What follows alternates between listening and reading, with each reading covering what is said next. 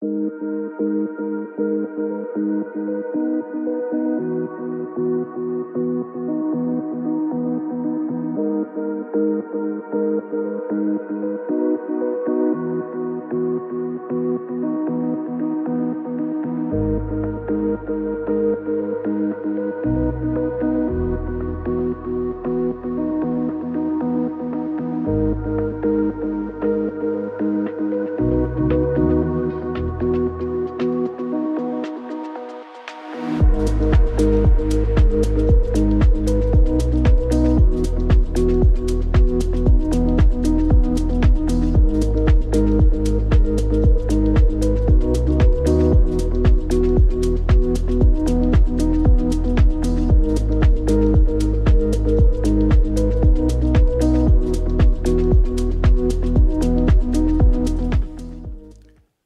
Willkommen zu Frequent Traveler TV. Heute am Sonntag keine Sendung mit Mario. Mario ist unterwegs im Auftrag des Herrn in Goslar und deshalb klappt es nicht. Er hat anscheinend auch ein gutes Frühstück gehabt, zumindest verrät das Facebook. Einmal Grüße nach Goslar.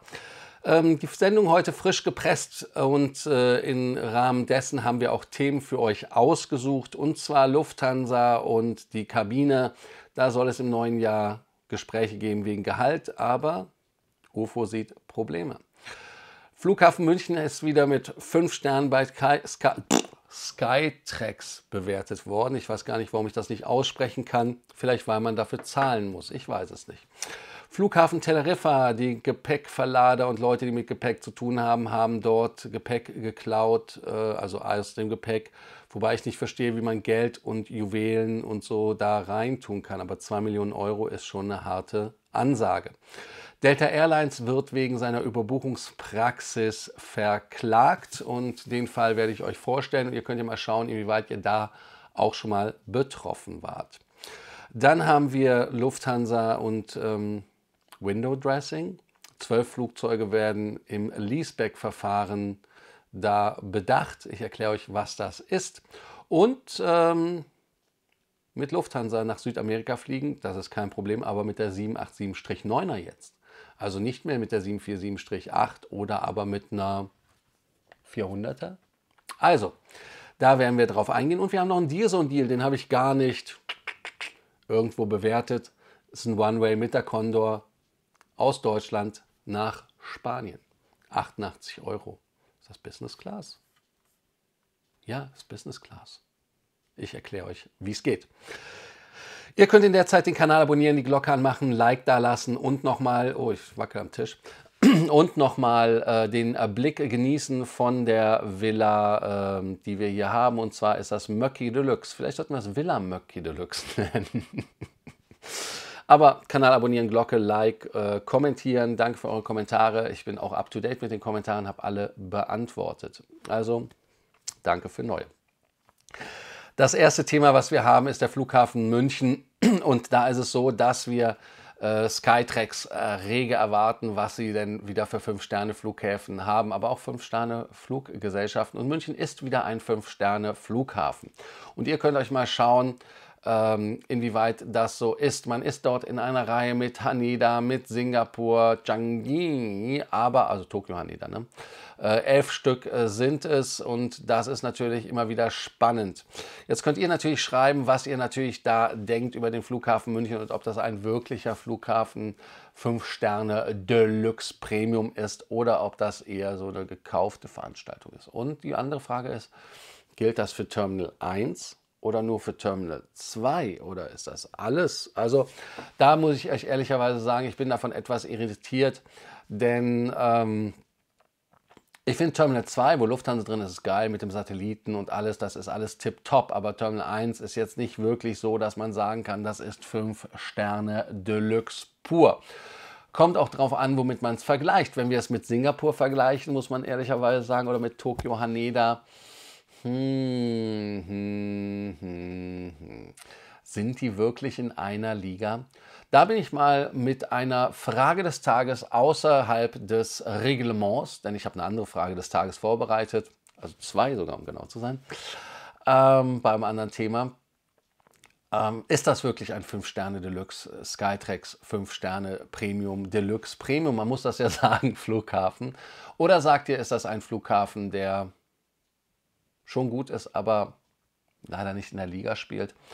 Ich meine, wenn wir es vergleichen mit Berlin, Frankfurt, vielleicht aber auch Paris, dann sind die natürlich geil. Ne? Aber da bin ich mal wirklich gespannt, was er schreibt. Und ich habe so ein bisschen Angst, wenn in Warschau der Flughafen kommt, was da passiert. Also wenn der Schubeng zumacht und der andere. Weiß gar nicht, wie soll der neue halten, heißen?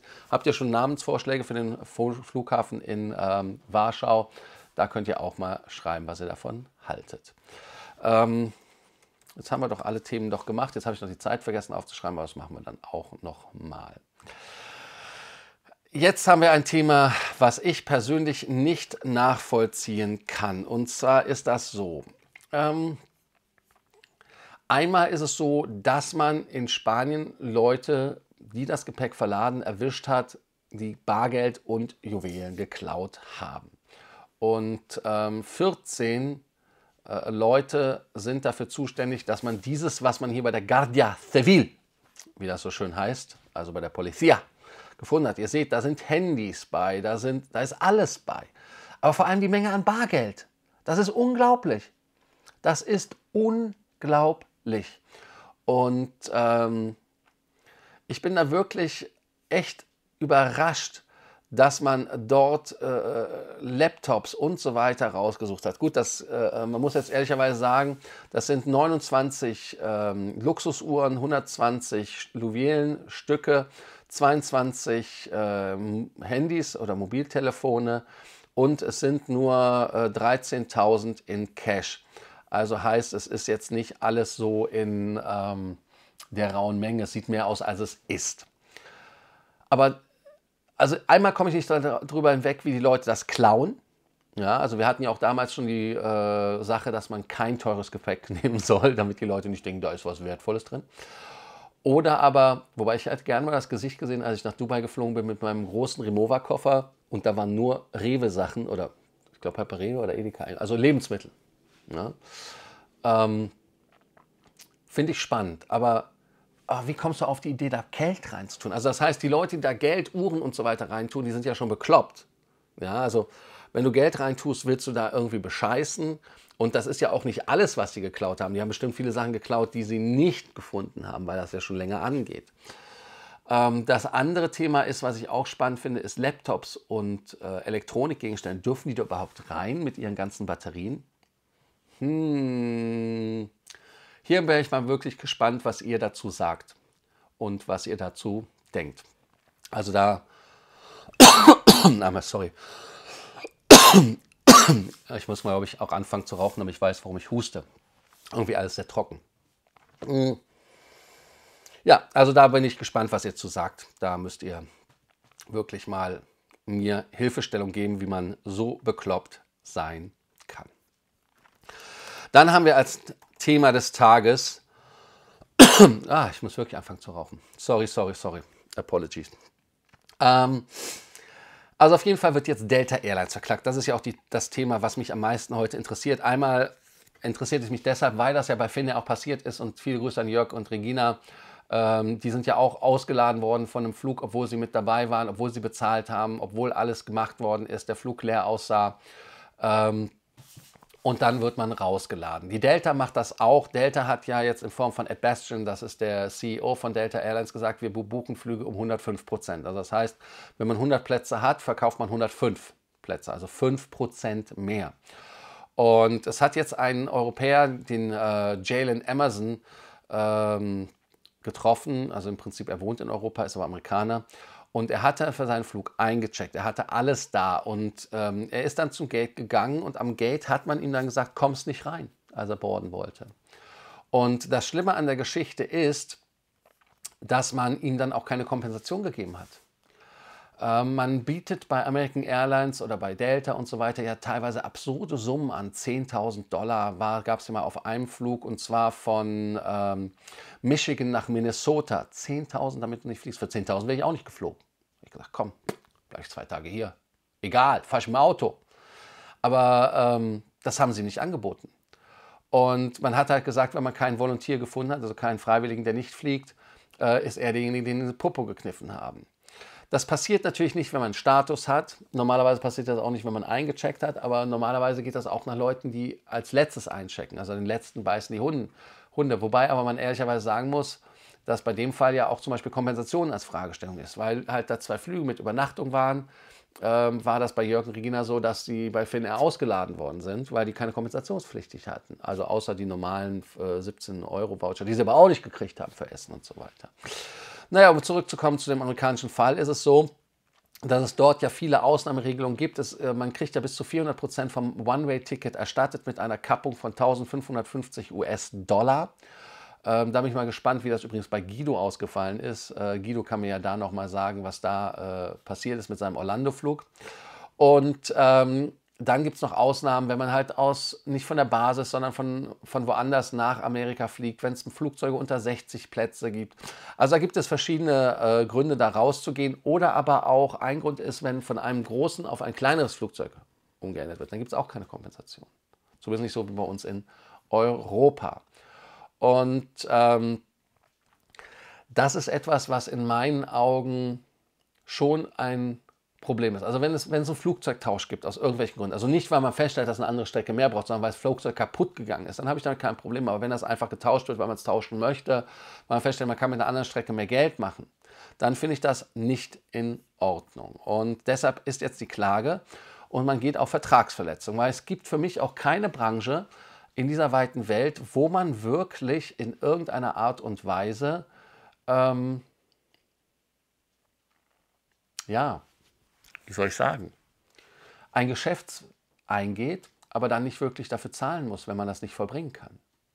Das finde ich krass. Und ähm, da muss man der Ehrlichkeit halber sagen, da müssen Fluggesellschaften etwas besser werden und ähm, nachhaltiger werden. Und da haben wir die Frage des Tages, seid ihr schon mal Opfer einer Überbuchung geworden? Und das andere ist, sollte diese Praxis verboten werden?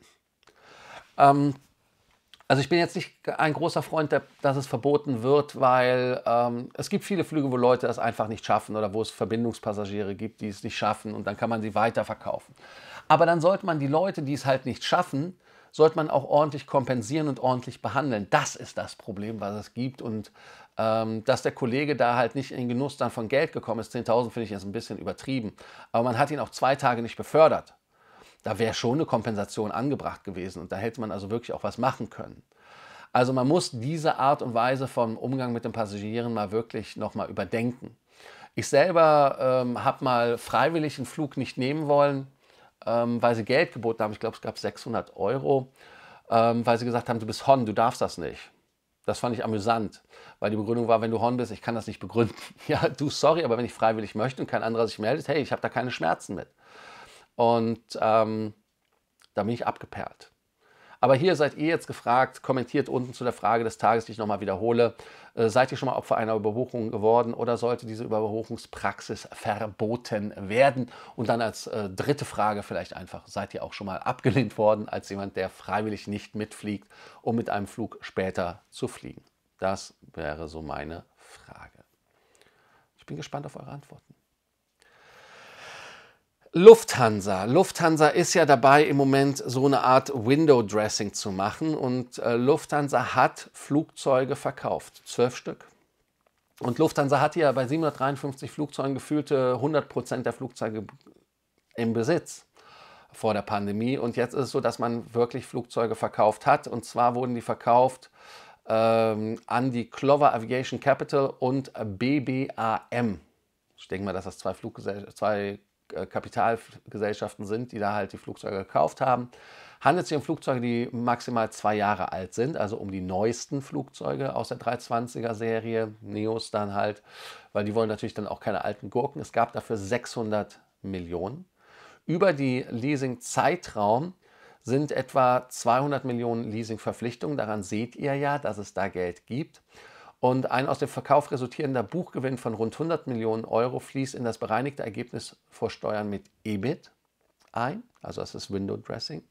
Aber die Transaktion wurde schon bereits im Finanzausblick auf die Lufthansa Group berücksichtigt, der von Nettoinvestitionen von 2,5 bis 3 Milliarden Euro im Jahr 2023 spricht. Das ist eine Praxis, die natürlich spannend ist mit dem Leaseback, birgt aber auch Gefahren. Das heißt also, dass man im Prinzip dann, wenn man Flugzeuge verkauft, ähm, dass man halt Kapital verliert, Eigenkapital. Und Lufthansa halt nicht mehr so stark ist. Und ich bin mal gespannt, was da passieren soll ähm, und wie ihr das vor allem seht, ob das etwas ist, was einfach nur spannend ist. Und ich weiß ja, dass ihr alle, ich gebe keine Aktientipps, auch gerne Lufthansa-Aktien habt, Mario und äh, Urs, also Stadtbär. Ähm, wie bewertet ihr das? Ist das etwas, wo man seinen Kapitaldienst mit ähm, quasi äh, auf sich nimmt, aber dann trotzdem am Ende doch eine bessere Rechnung hat, weil man damit mehr Gewinn macht oder mehr, äh, oder ist das einfach eine kurzfristige Make-up-Geschichte, wie ich es immer nenne, Window Dressing? Also das ist nicht mein Wort, das haben andere Leute gesagt. Auch hier bin ich mal gespannt auf eure Kommentare. Wer von euch ein Fan ist von der Freundschaft mit der 787, ähm, Strich 9er bei Lufthansa, das sind ja im Moment ja nur die, die man äh, quasi da hat aus äh, Hainan-Beständen, ist es so, dass es zwar der neueste Flugzeugtyp ist, den man in die Flotte reingeholt hat, und bis zur 777X wird das ja auch die neueste bleiben. Und da ist es so, ähm, man fliegt mit dem Flugzeug ab 1. Juni von Frankfurt unter anderem nach Bogotá und Rio de Janeiro. Also das heißt, man fliegt Strecken, die ähm, long and skinny sind. Heißt also Langstrecken, aber wenig Bedarf. Ähm, da sind wenig Passagiere. Und ähm, ich finde das eigentlich eine sehr gute Geschichte. Ich finde das Flugzeug auch gar nicht so schlecht, wie ich das jetzt mache. Ist aber keine First Class drin. Also wer nach äh, Sao Paulo fliegen möchte, äh, nee, Rio de Janeiro, Entschuldigung, Rio de Janeiro fliegen möchte, an die Copacabana, kann da keine First Class fliegen. Und geflogen wird das Ganze mit LH 542 von Frankfurt, Ankunft in Bogotá um 19.20 Rückflug wäre um 23.30 Frankfurt wieder um 17.50 am Folgetag mit der 543. Und bei der 500 LH ist das nach Rio de Janeiro um 22.15 Uhr mit 5.05 Uhr Ankunft und dann wieder Abflug um äh, 17.05 Uhr und 9.25 Uhr am nächsten Tag in Frankfurt. Man sieht also auch hier ähm, etwas längerer Aufenthalt. Und da könnt ihr natürlich sagen, wie ihr das findet und wie ihr die Business Class findet, wer von euch schon mit der 787 geflogen ist. Und ähm, da könnt ihr also mal gucken, ähm, was ihr davon haltet. Da bin ich mal wirklich äh, gespannt. Ähm, ist halt schade, wenn die 340-600 nicht mehr fliegt, wie ich ja sagte, nach Bogota. Da gibt es dann halt keine First Class, weil da gab es ja schon mal geile Deals. Amsterdam nur so als Stichwort. Da könnt ihr dann ähm, zuschreiben. Jetzt haben wir einen äh, Deal Zone äh, Deal. Und zwar der Deal Zone äh, Deal ist folgender mit der Condor und zwar in der Business Class. Da könnt ihr dann äh, euren äh, Erguss geben und zwar dort gibt es dann einen geilen Preis und zwar One Way von Mallorca nach Frankfurt für 88 Euro oder aber von Frankfurt nach Mallorca dann 140 Euro. Ist halt ein relativ cooler Preis, ähm, vor allem als One Way muss man das ehrlicherweise sagen. 88 zu 140 im Retour. Ich gebe euch da nicht äh, großartig mehr, aber Condor ist halt schon eine lustige Fluggesellschaft. Ähm, ich weiß nicht, wer von euch hat die Socken gekauft. Die gibt es ja von Happy Socks, glaube ich. Und äh, da könnt ihr dann richtig viel äh, Condor-Feeling haben oder auch das äh, Brewdog Bier von Condor trinken. Ich bin immer noch nicht dazu gekommen, das muss ich auch noch mal bestellen. Ähm, ich komme dazu, wenn ich nach Deutschland komme, dass ich das mal, ich muss mal, muss mal, als ich das letzte Mal bestellen wollte, waren die leider nicht verfügbar. Aber nichtsdestotrotz haben wir die heutige Sendung wieder über die Bühne gebracht. Ich danke euch, dass ihr heute bei Frequent Traveler TV dabei wart. Danke, dass ihr den Kanal abonniert habt, die Glocke angemacht habt, Like da gelassen habt und vor allem auch kommentiert und ähm, Kanalmitgliedschaft. Danke und das war die Sendung heute wieder aus dem Villa Möcki Deluxe. Ich glaube, ich nenne es Villa Möcki Deluxe. Und ähm, in dem Sinne gibt es für euch jetzt den Abspann. Also danke, bis morgen und bei Fragen, Ängsten, Sorgen, Nöte hier. Amerikanische Kreditkarten habe ich heute auch zwei Beratungen durchgeführt. Ähm, also Abspann. bis dann, danke, ciao. Und danke, dass ihr bis zum Ende geschaut habt.